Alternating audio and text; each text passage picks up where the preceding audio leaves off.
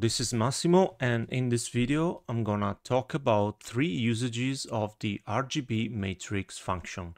So the most straightforward usage is by using RGB panels or basically LED strips. So I'm gonna switch to the front view and then I have um, special uh, fixture, which is uh, the generic RGB panel that has all these properties for creation. So basically this is the mapping of uh, panel um, or LED strips or LED bar as long as the component mapping is uh, one of these uh, listed here. So I'm gonna create one on Universe 3 in size 30 by 20 and also the physical size I want it like 3 meters by 2 meters. I can also adjust the parameters where the um, basically the strips start and the, the displacement of the bars or the, the strips and the orientation. Once I am happy with all the parameters, I can drag and drop it to my scene as all the fixtures and QLC+ will create automatically um, pan, um, group for me, a fixture group. So I can basically drag the uh, uh, panel in the exact position that I want. And also it created uh, all the uh, basically rows like this and dynamically creates also all the necessary universes for um, to map the each individual row. Um, so it's a lot of addresses used now. So uh, now that I have my panel, I can also preview it in 3D like this. Um, I can create an RGB matrix. Uh, the first thing to set is the fixture group where you want the matrix to act. So I'm gonna select the RGB panel and I will adjust the speed of the step duration basically like this. And if I hit preview, I already have a result like this. Uh, very simple because the default pattern is uh, stripes. By default is this one is selected. I can give it like a fade uh, transition like this. But I also uh, can play around with a lot of pat patterns um, provided by QLC+ by default. So for example, I don't know, something like this or um, yeah, you can you can play around with them. Some of them are quite complex, like the plasma effect, where you can have presets and you have parameters to to adjust the um, features or the the behavior of each pattern.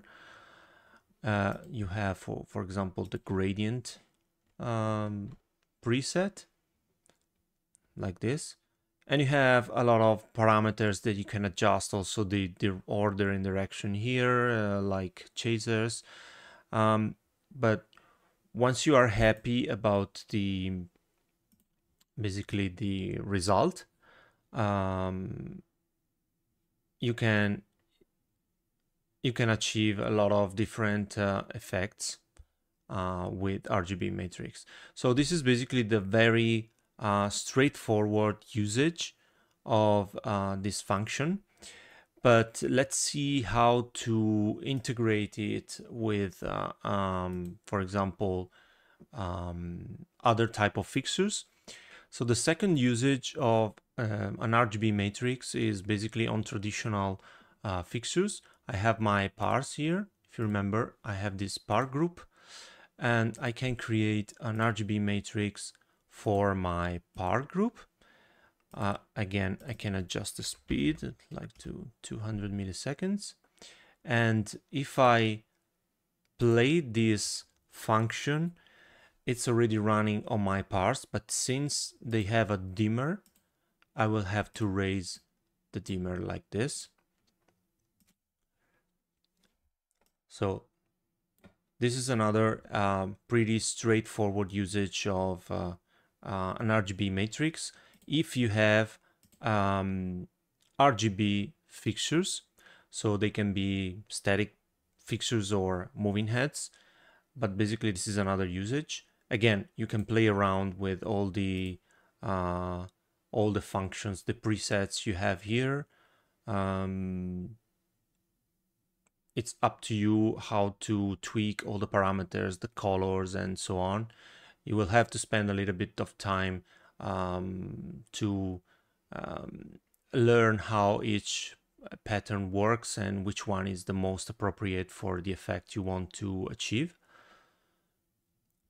So you have really a lot of uh, different um, uh, patterns. So this is another usage, again, pretty straightforward on RGB fixtures. The third and last one is another way to control fixture parameters again with RGB matrix. So let's create another one.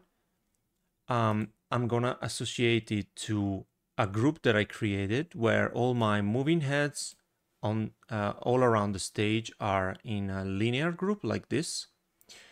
Again, I will adjust the uh, step time like this, just to give it a more um, more speed. And instead of um, controlling RGB channels, I will control dimmer channels this time. Um, with the color set, I can also choose uh, the intensity of the dimmer, for example, where uh, white is the full intensity and then I can adjust it uh, here with uh, basically a grayscale color. Um, so if I play this one, it will basically raise the dimmer of my fixtures. So I have in my old group, I have this uh, position, center position uh, scene, shutter open, all yellow, and then my newly create RGB matrix and the effect will be this one. So if I want to play around, for example, with random single, like this, I will have an effect like this. Because basically my matrix is acting on uh, just the dimmer channel and all the rest is uh, controlled by, is set by other scenes. Um, as we've seen before, I can create a collection for this. So basically, if I run my collection, I'm all set. And this is another way of uh, using RGB matrix uh, not on RGB channels. And this is uh, this can be another uh, quite useful way of using it.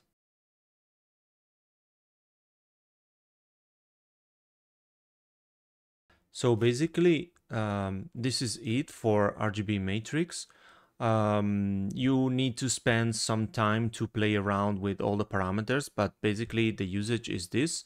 Uh, if you want to achieve animations on RGB channels or other properties of your fixtures. So thanks for watching and ciao!